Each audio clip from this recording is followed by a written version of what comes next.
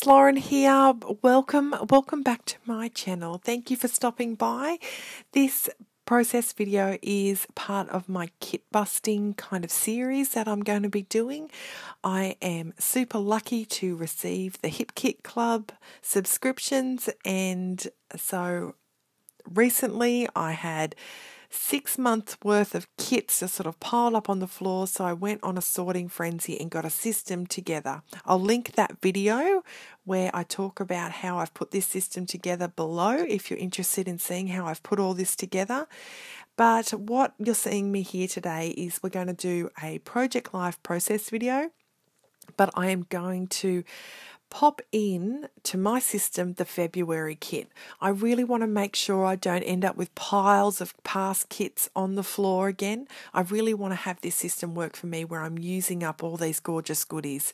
So I am what you're seeing me here now do is incorporate all those beautiful February kit products into my system and so I can be ready to access them in when I'm doing my kit busting projects. Uh, it, it's just been, I, I can't emphasize how much this makes me feel good. I was getting lots of guilt about having these piles on the floor of kits, and I really needed to come up with a system. And I'm so glad that this is working for me. So definitely check out below uh, how I've how my system works. I've put the papers and and the embellishments into some order, and um, I've linked that one below for you guys to check out if that interests you. And you, this is not just for Hip Kit Club subscribers. This is for any Kit Club subscribers. These tips could be really great. And if you're like me and having piles of kits on your floor, I encourage you to check this out because this feeling is really good. So here I am just sorting my papers into my order. I've sorted my embellishments into brights and vintages, so they're really good depending on the photo. I'll just grab each embellishment like I pop them on dog clips there, and then I go through, pick out my alphas and mine titles, and there you go. So I've just sorted all the March, oh sorry, all the February kits into my system. Now here I am I'm going to be sharing with you today a uh, double page out of my 2018 Project Life album, which I'm still working on, still enjoying, loving it, even though 2019 we're well into that, but I'm working on that at the same time as well. So, this here is a couple of pages celebrating my gorgeous little nephew Archer's fourth birthday. Also, on the opposite side that you see me working on there is my little girl uh, finally went on her first mountain bike ride in the bush. So we're happy about celebrating that little moment that she worked hard to um, to achieve. Uh, and my beautiful son down there, that was a photo of him where he was just about to head off for his first job interview. So lots of proud mummy moments there and lots of lovely things to celebrate. So I've just pulled out those Project Life cards that I had them in a little bag there, and I've grabbed out ones and sat them where I think that they may go. And you know, I think this way of um, pulling all the photos out, sitting them on the page protectors is a really great way of working. When I first started Project Life, 2018 was my first year that I committed to it in its entirety. I would just be pulling out one photo and working on it at a time and then putting it back in. And I found the process really time consuming. So I've settled down into this way. So I work on pages at a time. These photos are really bright, so I've picked up my brights embellishments that were on a clip there and I've pulled out all the elements that I think are going to be, you know, that I'm going to love using there.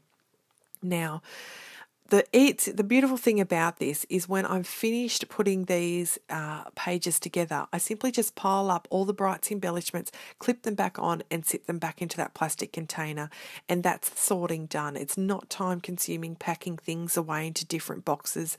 I know that I've got those three boxes, well, three kind of systems there, and it's all just super handy, all in order, and easy to grab.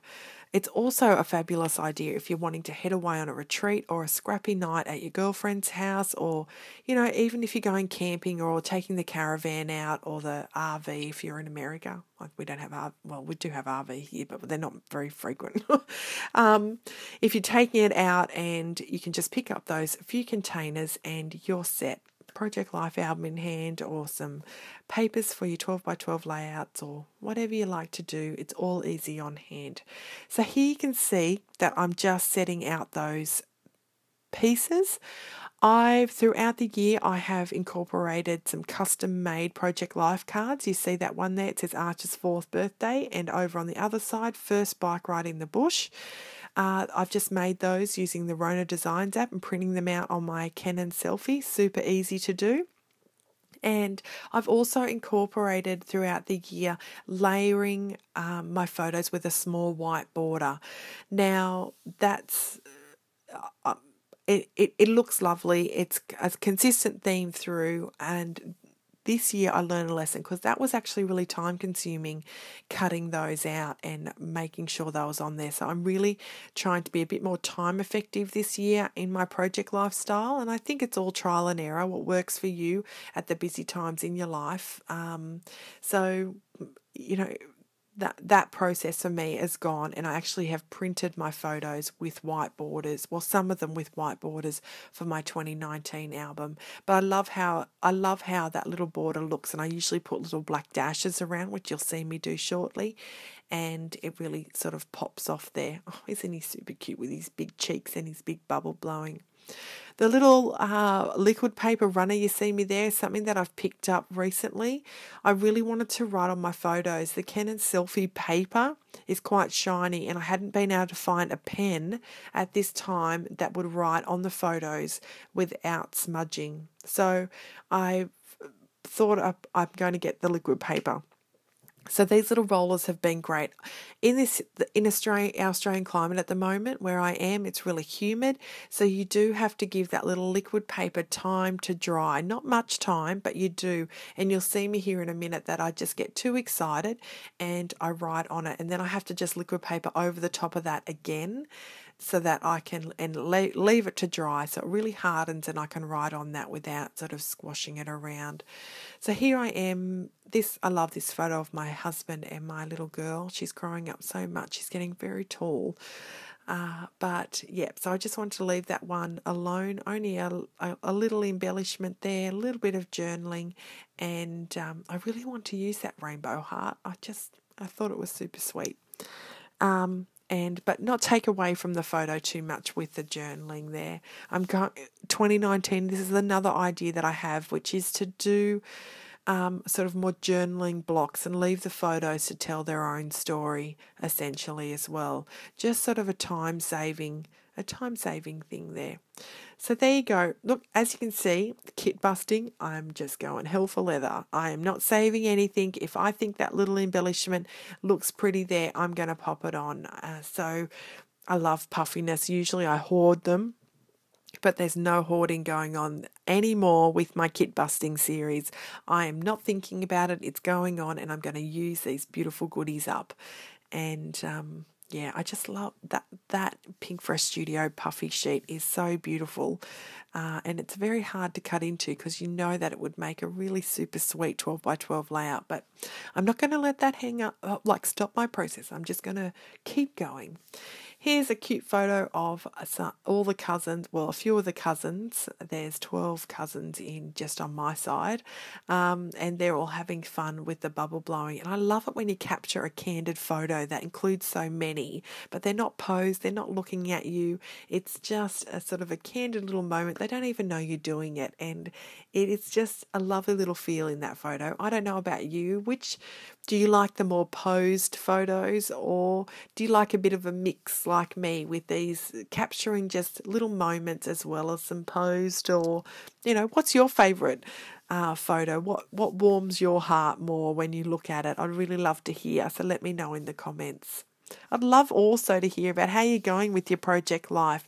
Are you up to date in your 2019 albums, or are you still a little bit like me and, and still trying to reflect and enjoy and finalize those 2018 moments?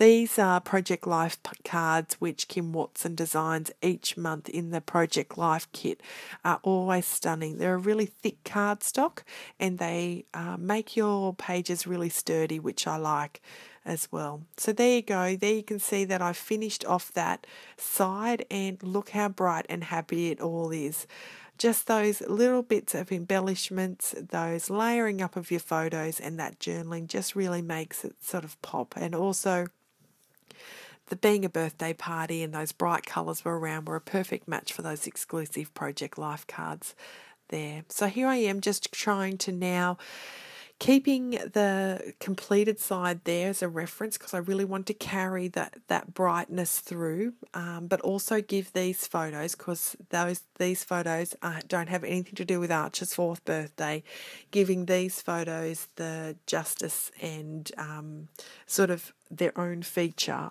of, as their their own moment there. So just um, adding some borders, doing my dashes just to keep that consistency there. And I've got this journaling card that it's going to allow me to write a little bit of a story on there, um, just about how proud I am of my children. Before Katie could ride in the bike, we really wanted her to be really proficient on the road. So my husband would take her, and she, the goal was if she could ride up a fairly big hill, which is close by, that would be the um, the milestone for her then to be able to go into the bush. And so after lots of practice and lots of training, she made it to the top of this hill.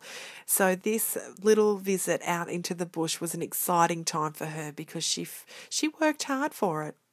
And my beautiful son down there, and when he's dressed and off for his interview at McDonald's, um, you know that that I'm so proud of him as well. He's he's my quiet boy. So really, uh, in a job interview where you've really got to sell yourself and be a little bit more of a, a I guess, have some qualities that are outgoing and a, you know a bit of an extrovert. It would have would have popped him out of his comfort zone a little, but I'm so glad he he did it and he now has been working at McDonald's for some time and is loving loving it. So I'm really really proud of both the kids here in these little moments and that's why the title is so proud.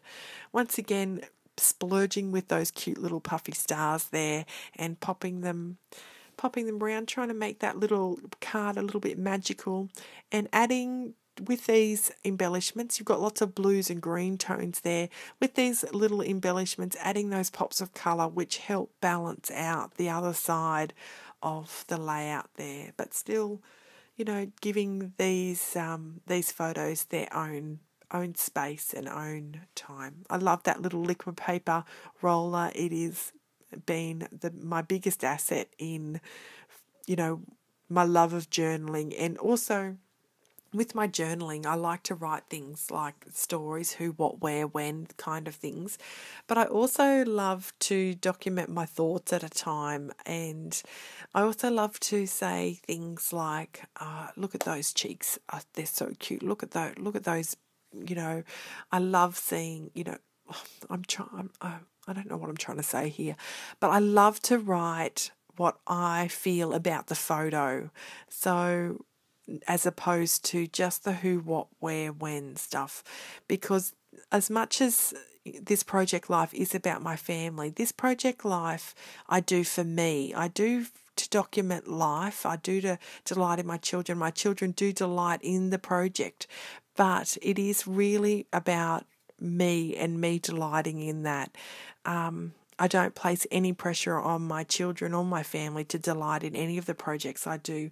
That is just a side benefit that I'm lucky that I have a, a family that's interested in this kind of thing. But so this this album is really a journal to me as well, a journal about my thoughts and feelings.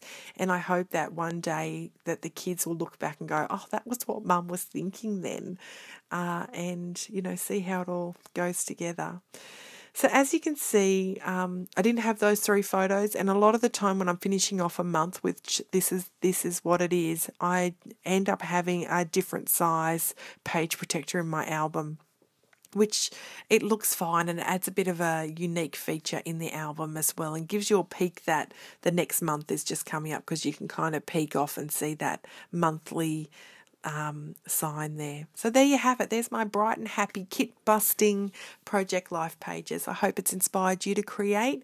And yeah, give me a subscribe to my channel. Give me a like. I um, I would love you to support my channel that way if you enjoy my videos. And I'll check back again with you guys really soon. Okay, take care. Bye.